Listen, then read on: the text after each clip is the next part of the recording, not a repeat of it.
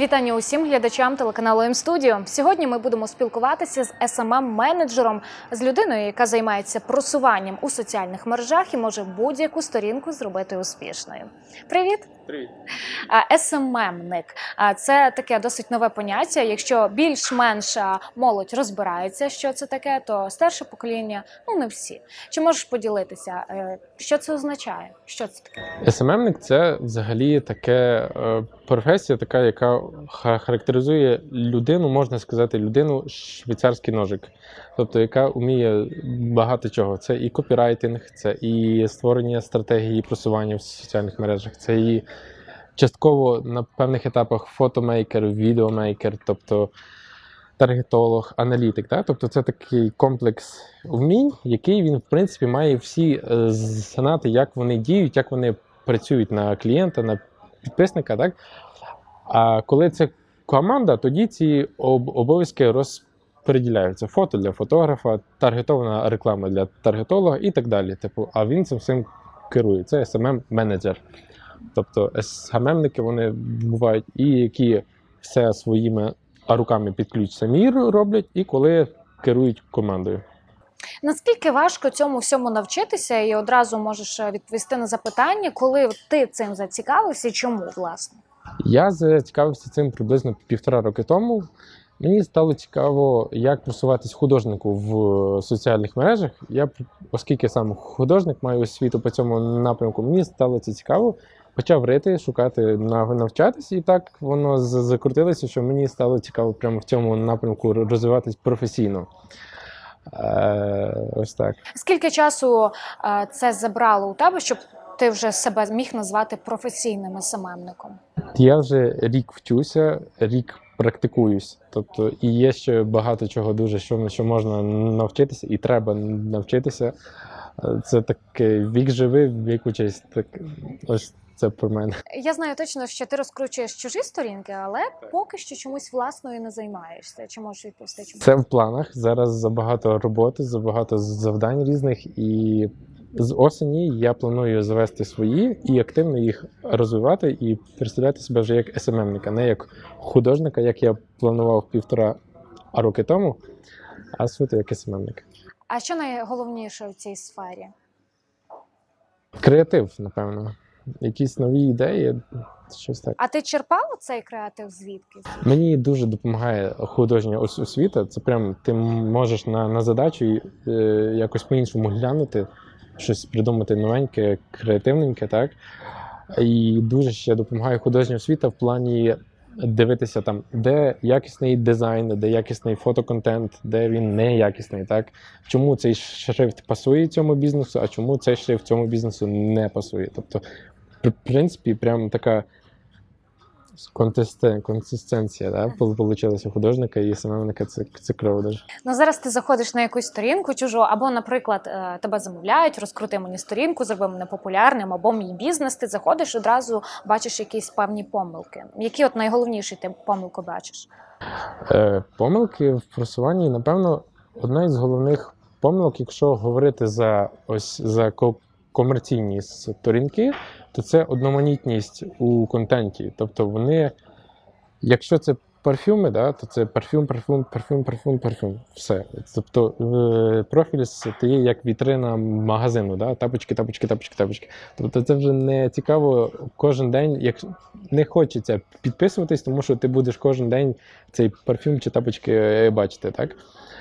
Друга помилка це, напевно, е, в тому, що людина не показує себе в профілі. Тобто цей магазин має хтось, так? Тобто якась за ним стоїть людина, власник, адміністратор чи щось таке. І коли цей магазин не показує свою людину, ти заходиш на сторінку магазину, і в тебе немає відчуття, що ти купуєш у людини. Так? Людям приємніше комунікувати з людьми, ніж з без облич, без, е, з магазину, без, без обличчя. Так? Е, от друга помилка. І третя помилка, можна сказати, ось ці різні накрутки, лайків, підписників. Це такий цукерка на один раз, так? Це діє лише на тих, хто дивиться на число підписників, але якщо знати трішечки більше, то тобто ти можеш оцінити накручений профіль чи ні, і фактично для просування накрутка ніяк не допомагає взагалі. Підписників та читачів. Отже, три це одноманітність в контенті, тобто що він скучний, це як вітрина в магазині, да? без обличчя магазин, тобто немає персоналіті. І ці різні накрутки, ну це все. Ми з тобою вже поза кадром поспілкувалися. Чому накрутка ніяк не впливає е, не знаю, на рейтинг, на успішність сторінки? Тому що е, коли ви накручуєте собі умовно, да, у вас є 100 живих підписників, ваших там друзів, знайомих. Ви собі накручуєте тисячу підписників. Це є боти. Це є неживі аккаунти, створені штучно. Вони один раз на вас підписуються і лежать у вас у, у підписниках мертвим грузом. Виходить ваш новий пост. Він е, показується для частини ваших друзів. Вони, хтось із них його лай, лайкають, да? А боти його не, не лайкають ніяк взагалі, вони з ним не взаємодіють. Отже, контенту е, ал, алгоритм соцмережі не спрацьовує. Він не бачить, що це гідний контент і що його варто показати наступним е, відсоткам ваших підписників. Взагалі, як діє ал, алгоритм? Да? У вас є тисяча підписників живих, так? ви публікуєте пост. Цей пост показується для 10 перших відсотків. Якщо ці 10% його активно е, лайкають, коментують, зберігають, з ним взаємодіють, так? гортають фотки в каруселі, тоді алгоритм знає, що окей, він кльовий для цих 10%. Покажу-ка я його ще тут, і в топ, і по хештегам, і тут, і тут. Да? І тоді він просувається ще для більшої аудиторії, в нього під, під, підвищується охоплення. Тобто він охоплює більше людей в стрічках. Ось так діє алгоритм. 10, 10, 10 відсотків, доки він всіх не е, охопить. Ти здебільшого говорив про комерційні сторінки, а там магазини, різні установи, що стосуються особистої сторінки. Хтось хоче заробляти, можливо, на рекламі чогось там. От як такій людині розкрутити свою сторінку і чи варто взагалі це робити? Якщо заробляти на рекламі, то це ви маєте, напевно, на увазі блогерів, так? Тобто людина, яка веде певну сторінку, яка має свою тему, умовно блог, так? Е, Коли вона збирає, збирає в своєму профілі в себе свою аудиторію, і згодом з розвитком цього профіля, коли є вже достатньо так, читачів у неї, рекламодавці, яким цікаво просунути себе або свій бізнес, вони можуть в неї замовити так, е, рекламу або у нього. Тобто, якщо це жінка, яка пише про сім'ю, про себе, про дітей, про так, тобто якийсь магазин, який буде пропонувати засоби косметики, так, косметологічні засоби. Або, наприклад, візажист, тобто він у неї може прорекламуватися, тому що вірогідно на неї підписані жінки, яким це буде цікаво. Тобто шайномонтаж не піде рекламуватися до такої е, блогерки. Так? Ось це якщо про блогерів. Так? Збираєш аудиторію тим, що ти цікавий, ведеш блог, і далі в тебе можуть з'являтися ре- рекламодавці. Е, Де цьому можна навчитися взагалі? Е, Чи ем, просто не знаю, в інтернеті, в якихось людей, чи є спеціальні установи, які навчають цьому? Ти маєш саме на увазі SMM? SMM, так. SMM, е, ну, наразі в державних установах ти його не научишся взагалі. У нас цей напрямок затримується. У нас по маркетингу такому, по онлайн-маркетингу в державних установах я не знаю, чи научиться. Можливо, є в Києві якісь приватні установи, офлайн установи, які цьому навчають. Знаю, що навіть є одна медіашкола у Ужгороді. Ось, але в основному це онлайн-курси від різних агенцій, школ, окремих SMM ників. Да? Тобто є спеціаліст у цьому напрямку, він записує курс навчальний. Якщо в тебе є довіра до цього спеціаліста, а він будує її через соціальні мережі до тебе, так, тоді ти в нього можеш купити відеокурс та освоїти ту чи іншу професію. Ми говоримо про SMM ника. Тобто він е, деякі, наприклад, навіть е, дають своїх клієнтів згодом для своїх учеників. і ученики з ними вже практикуються. Тобто це все залежить від того, в кого ти купуєш курс. Наприклад, в тій самій Європі вже в державних установах, зокрема у Німеччині, я знаю багато є, де можна навчитись онлайн-маркетингу. Тобто, це мають на увазі SEO, напевно, SMM також. Ну, ось- ось так. У нас ще це трішки затягується. Ще років п'ять тому, напевно, в Україні ніхто навіть і не, не думав про таку людину, як SMM ника. В Закарпатті взагалі роки два тому, напевно. А чому зараз це актуально? Чи можеш сказати? Актуально це тому, що аудиторія тих того самого інстаграму та, та Фейсбуку росте з неймовірними темпами. Скажу пару слів про е, числа. Так? Е, з 2017 року е, аудиторія до початку 2018-го виросла на 90%. Було приблизно 3,7 мільйона користувачів в Україні інстаграмом стала близько там 7,5, десь так. І це зобумовлено частково тим, що в 17-му ровні році в травні заблокували ВКонтакті та однокласників, і аудиторія туди перебігла. Ось так. Але цей напрямок і продовжився у 18-му. В 18-му аудиторія з 7,5 вже піднялася до 10. Наразі на березень цього року є 11 мільйонів користувачів в інстаграмі в Україні.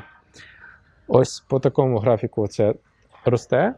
І оскільки е, всі вже там є, людям дійшло, що там можна продавати, що там можна вести свою комерційну діяльність. І тому воно до нас так дійшло, що ми тепер там хочемо також бути присутніми, і там е, аби був присутній наш і бізнес чи та справа, якою ми займаємось. Надалі, мені здається, аудиторія буде рости е, і далі. В інстаграмі, і, наприклад, цікаве ще число, що 90% е, людей віком 18-24 в Україні є в інстаграмі. Тобто це ті люди, які зараз активно розвиваються, заробляють, яких є вже потрохи гроші. Так? Тобто це ті, хто через 5 років вже буде купляти все підряд. Тому і актуальність у цьому є, аби їм вже там продавати. Чим раніше почнеш, тим вже матимеш ту базу, коли вже прийде момент. А чи можеш ти назвати от якісь імена е, блогерів, які от дійсно заробляють шалені гроші завдяки інстаграму? В Ук- Україні Ну ні, які тобі відомі, найвідоміші. Е, Ну, наприклад, мені дуже подобається, як веде свій блог е, The Jerry Hale. Яна її звуть, це співачка з Києва. Молода дівчина, е, кльово веде свій блог, і в неї паралельно є рекламні інтеграції. Так? У неї хтось заробляє рекламу. Якщо я не, помиляюсь, десь півроку тому вона заробляла близько 20 тисяч гривень на місяць на рекламі. Тобто для людини, якій 21-20 років, думаю, це просто супер так в Україні. Наразі я не знаю, вона напевно вже підросла. Є декілька цікавих блогерів у нас тут, у Мукачеві, але вони не, ну, вони не мають такої великої аудиторії.